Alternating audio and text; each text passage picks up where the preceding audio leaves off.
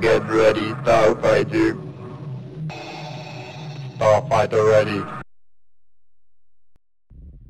There is always an advantage in getting product out on new systems quickly as early adopters look for something new to play.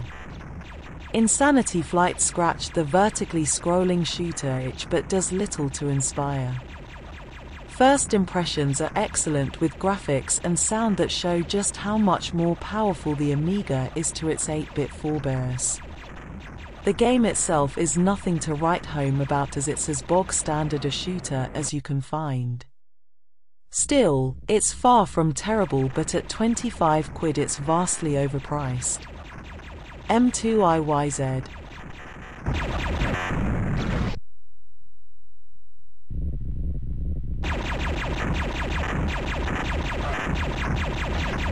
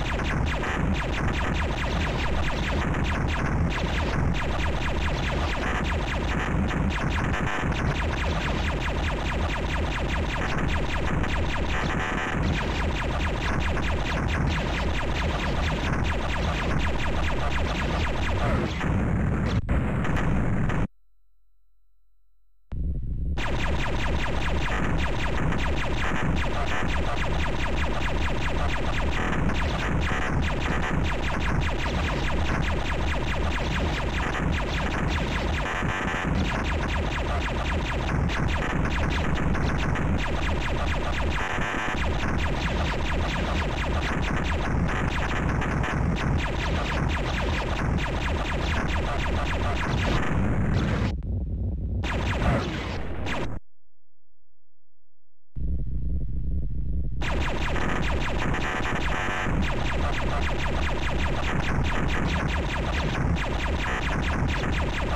you.